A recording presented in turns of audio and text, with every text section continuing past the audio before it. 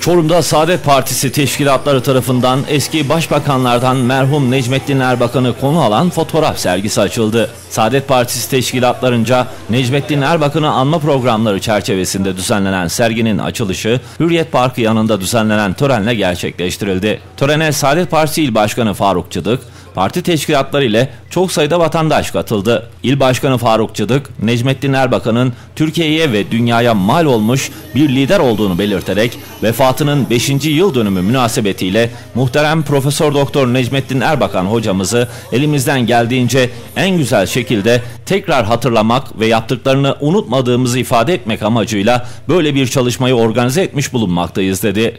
Cıdık serginin açılışında Erbakan'ın ruhuna Fatiha okuyarak kurdeleyi kesti. Erbakan'ın fotoğraflarının sergilendiği serginin 4 Mart tarihine kadar açık kalacağı bildirildi. Diğer yandan partililer tarafından törene katılanlara helva ikram edildi. Vefatının 5. seneyi, dev, seneyi devriyesinde yapmış olduğumuz bir takım etkinlikler var.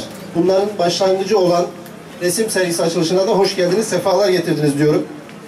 Tabii e, hocamız kendi hayatını dolu dolu yaşadı. Bizlere birçok şeyi öğretti. Birçok kapıyı açtı ve kapattı.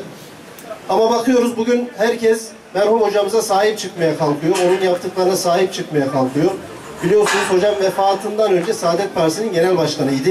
Ve orada birçok açıklamaya da e, birçok açıklama yaptı. Şimdi Erbakan'ın yolundan gidiyoruz diyor herkes. Erbakan'ın yolundan gidebilmek için öncelikle Amerikan Birleşik Devletleri ile müttefik ortaklığı bırakmak gerekiyor.